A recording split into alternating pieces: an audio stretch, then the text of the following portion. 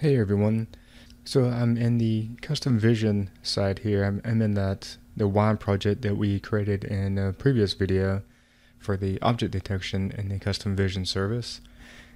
And what I'm going to do in this video is to programmatically make predictions on an image and I'm, I wanted to also mark the image, uh, the bounding box, and tell what the prediction is on the image.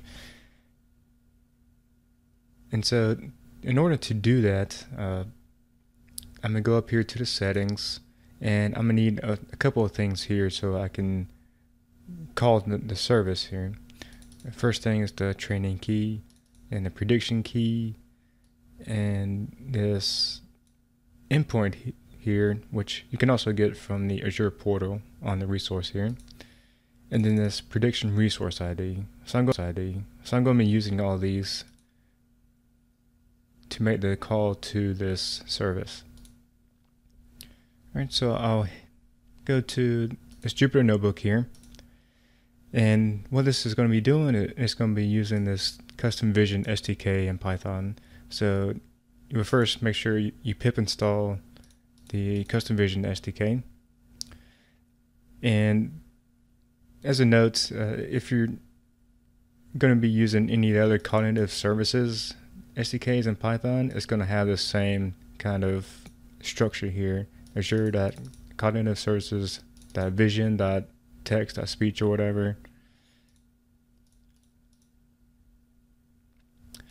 All right, so this first cell, I'm going to import a few things. Uh, the custom vision training client and the prediction client from the custom vision SDK.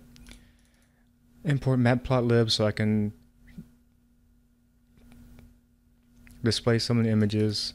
Import JSON because I have a config where all those those previous things that I mentioned before where I have those loaded import CV2. This is OpenCV, and I'm going to be using this to basically just draw the bounding boxes and put a text on on the actual images I'm going to be predicting. And then I get my config, and then I get the endpoint off the config.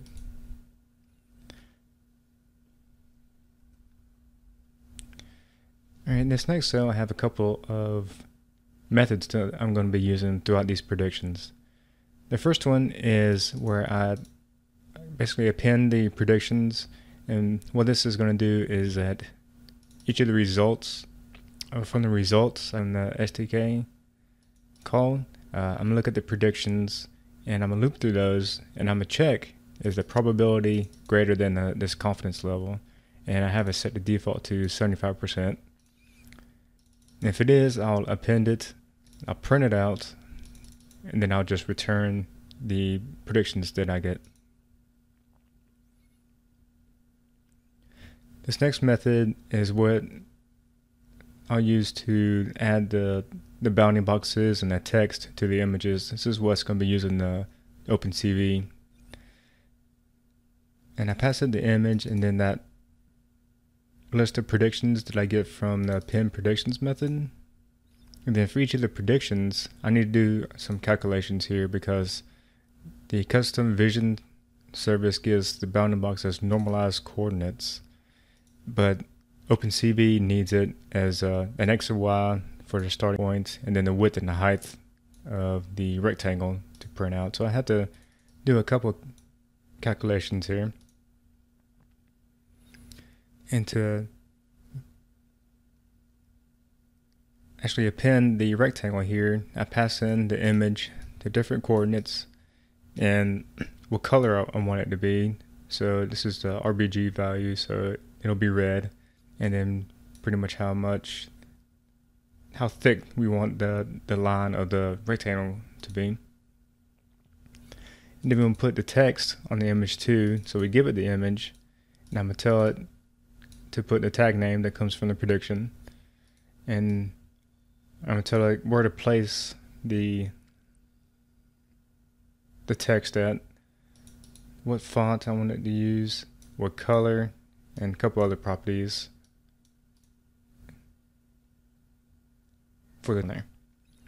And this last one, it just shows the image using matplotlib without axes and, and all that.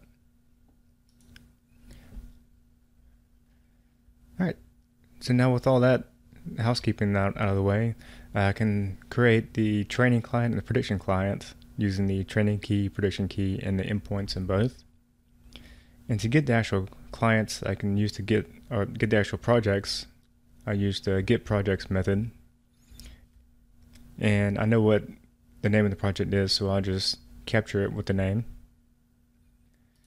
And then I need to get the the current iteration. And the iteration, uh, each time, if you remember in the previous video, each time that you train the model, you get a new iteration on that model.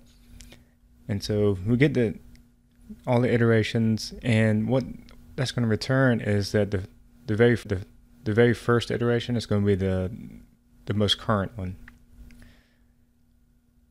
And before we can use the predict on this SDK, we have to publish this iteration so we know so the service knows that it, it can be used. And we just pass in the, the project ID, iteration ID, which would be the most the latest iteration here. And we give it kind of a, a published name, and then this is what we use that prediction ID for as well.